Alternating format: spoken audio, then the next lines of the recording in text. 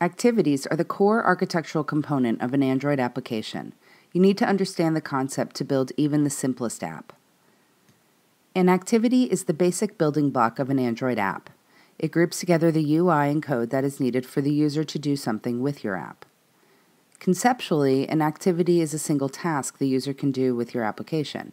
For instance, consider a phone application.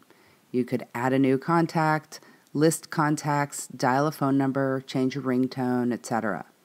You can think of an activity as analogous to a page or screen in an app.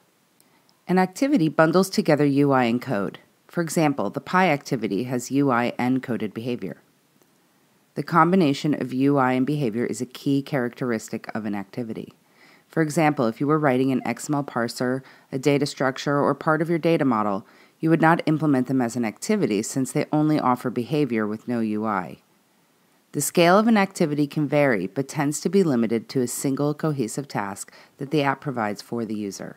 Physically, an activity is typically two files an XML layout file that defines the controls and a C sharp code file that implements the behavior.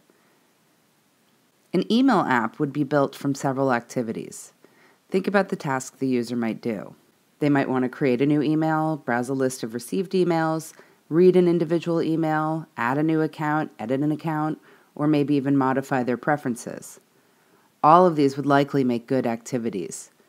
Notice how each one has both a UI and behavior.